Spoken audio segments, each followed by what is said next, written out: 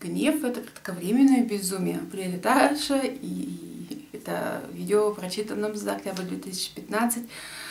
А, я прочитала, перечитала небольшой такой томичек, такой вот крохотный стихов Семеновой «Кубик из красной пластмассы». То есть там собраны стихи, которые а, можно увидеть в начале глав там книгах, посвященных Волкодаву, и в других книгах, и они просто потрясающие, наполнены какой-то мудростью, славянизмом, русским духом, э, э, справедливостью. Там очень-очень много справедливости. Э, и да что я вам рассказываю? Я как-то читала стихи здесь на ютюбе Семеновой. И можете поискать по послушать действительно стихи стоящие.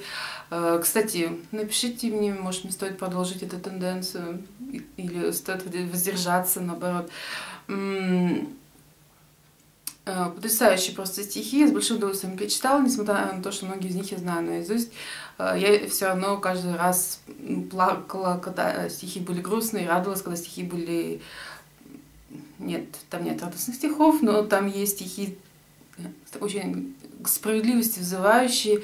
Я наполнялась вот этим вот духом, когда читала, хотя, повторюсь, знаю их уже наизусть, для меня это не но, тем не менее, каждый, раз как первый. Почитала я еще «Журавленок и молнии» Крапивина, моего любимого, я перечитала уже на сотый раз.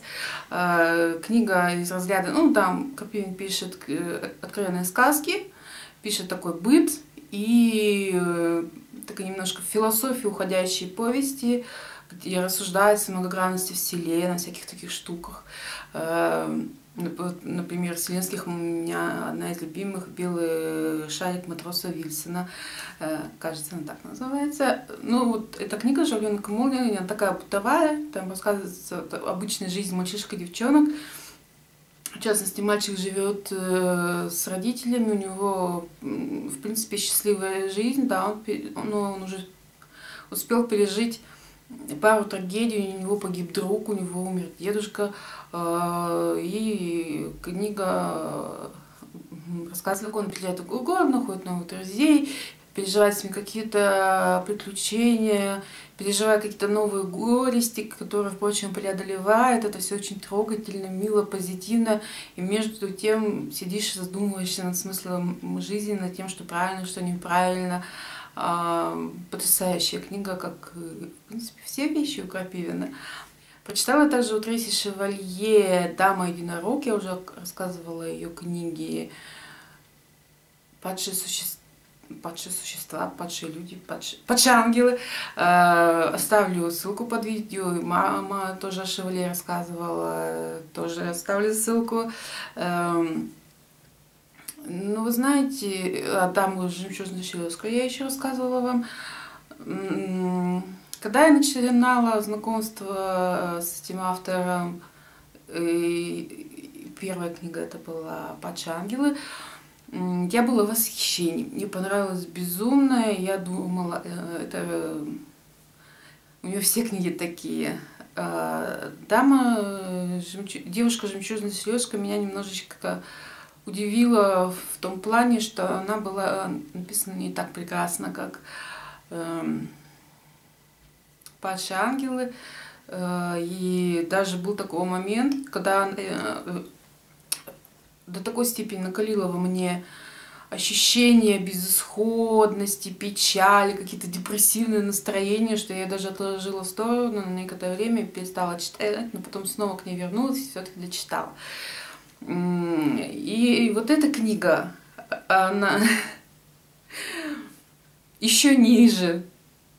А, то есть мне не понравилось. Я очень прошу прощения людей, людей которых я сейчас, может быть, ненароком обидела этими словами. Им нравится книга «Дама единорог», но вот ну не мое, ну не пошло у меня.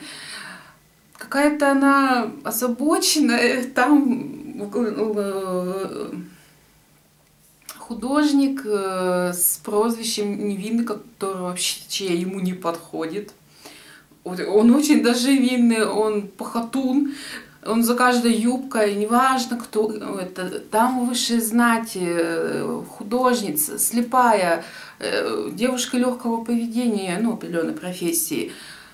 Это абсолютно не важно. Главное, чтобы у нее были определенные...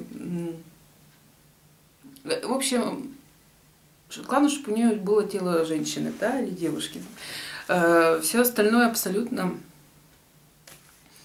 и все вокруг этого вертится. И мне все равно, что там заодно рассказывается о том, как э, э, во Франции когда-то ткали э, эти ковры на стены вешать, украшали замки, залы целые, вот ими сплошь.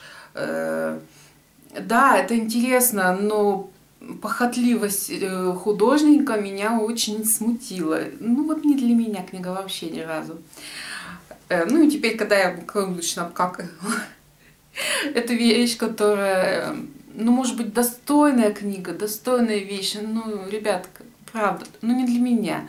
Эм, я не слишком резко, а то, может, правда, кого-то обидела. Собственно, это почти все. Назову еще пару вещей, которые прочитала, но по определенным причинам не буду рассказывать. То есть я дочитала э, в начале месяца «Черный тополь» Черкасова. Об этом уже есть видео отдельное. А, я прочитала «Другой путь Акуина», об этом есть отдельное видео совместно с мамой. А, я прочитала, я начала перечитывать «Хроники Нарнии». А, я прочитала первую самую часть «Племянника чародея», э, но о ней я не буду говорить, потому что мне хочется снять отдельное видео о «Хрониках Нарнии», э, которое будет, разумеется, когда я прочитаю все семь книг. Осталось еще шесть. Пять с половиной. Э, вот. Так что, ну, на этом все. Я желаю, чтобы ваши мечты всегда сбывались. И при этом вам не вредили. А то всякое бывает. До скорых книг. Пока.